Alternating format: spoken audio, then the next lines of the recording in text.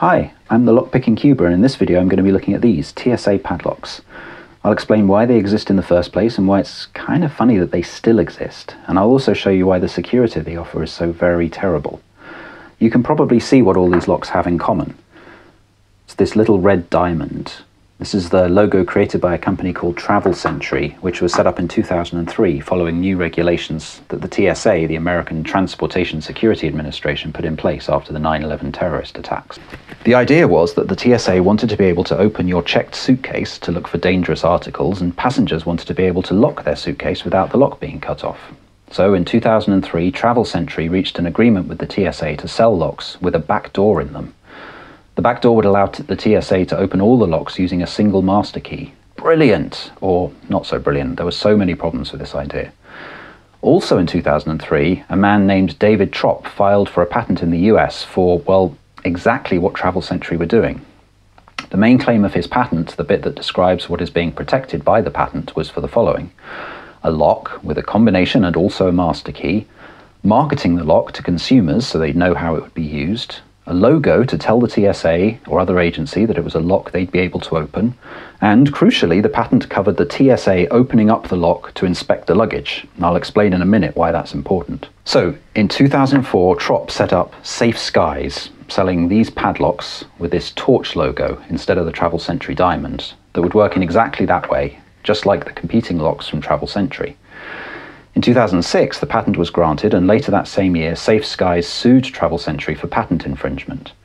Eventually, Tropp's case was thrown out for a really hilarious reason. Because the patent included the act of the people who actually opened the suitcases using the master key, and since Travel Sentry didn't do that, the TSA did it, that meant Travel Sentry couldn't be infringing the patent.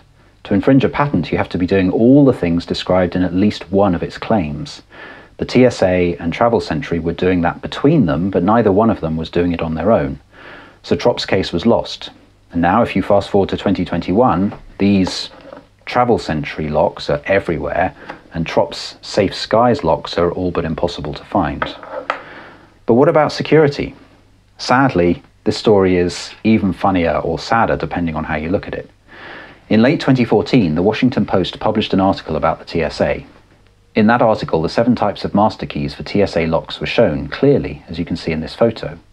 Almost a year later, someone on the R lockpicking subreddit posted the photo, and not long after that, 3D printer files were generated that would allow anyone to 3D print the master keys. And nowadays, well, you can buy nice metal versions of them from eBay for a handful of dollars. And what that means is that anyone with a few dollars and access to eBay can buy the key that opens all these padlocks. Here's one that I bought. It doesn't open every TSA padlock, just the ones that use key number 7, but that's the vast majority of them. Now, some of these padlocks have a feature that shows you if the padlock has been opened using the key. This green flag shows you that this padlock has not been opened using the key. If the TSA or anyone else uses a key to open the padlock, the flag turns red. It stays red after we lock the padlock, and it only turns green when we open it using the combination. I also have the key for number two, which opens this padlock.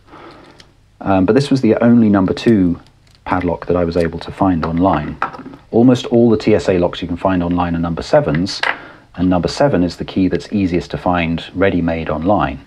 But the truth is, none of this really matters because the TSA wafer locks are so crappy that anyone can open them with extremely basic tools and basically no knowledge. I'm using a wave rake, but it's basically just a relatively strong bendy piece of metal that opens these padlocks, all of them. If you can open one of these with a rake or tool like this, you can open all of them because they all have the same lock. Now it is possible to find TSA locks that aren't number 2 or 7 and without 3D printing them yourselves it's quite hard to find the keys for those ones. So this padlock for example is a number 6. It's the only number 6 I've been able to find online and it's a really interesting one because Number six means using a dimple lock. These are made by a company called Forge in the US, and if you do have to buy a TSA padlock, mm, this one might be the one worth getting because although you can print the key if you have a 3D printer, it's much harder to find master keys for number six online. And although it is possible to rake it open if you have the right tools, it's much harder than doing so for number seven or number two. Let's see if I can get this one open.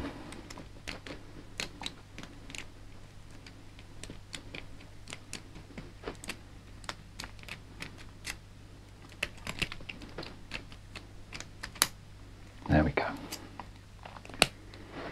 Most TSA padlocks cost just a few pounds or a few dollars, but some of them, like this one, costs a lot more. This one, for example, is a fingerprint padlock. From what I can tell, it's a pretty good fingerprint padlock, except that it's also a TSA 07 uh, key lock, which means it can be opened using the TSA master key or raked open, for example.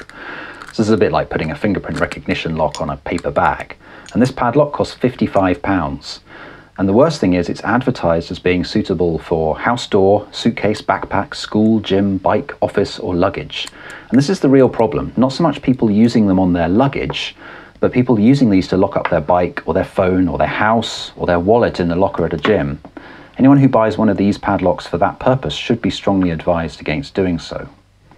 So, in conclusion, if you're traveling into a country that uses these TSA locks, which includes the USA, Canada, Japan, Israel, Finland, Norway, Denmark, the Czech Republic, Germany, Austria, Belgium, Netherlands, Switzerland, South Korea, New Zealand, and according to the TSA website, soon other countries, and you want to lock up your checked luggage and you don't want the TSA or equivalent agency to cut the padlock off, you could use one of these TSA locks with the red diamond on.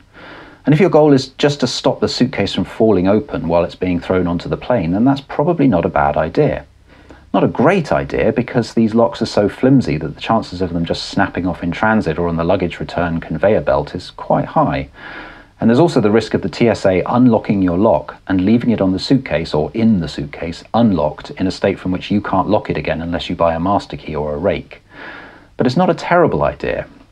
If, on the other hand, you want to use one of these locks to lock something up and stop anyone apart from the authorized agencies from getting into your suitcase, then these locks will not do that. And if you want to use them for anything that really matters, you definitely shouldn't be doing so. All right, that's it. I hope you've enjoyed this video and maybe you've learned something, even if it's just to avoid locks with this red diamond on it. Please do click on like or subscribe to see more videos like this in the future. Thanks so much for watching.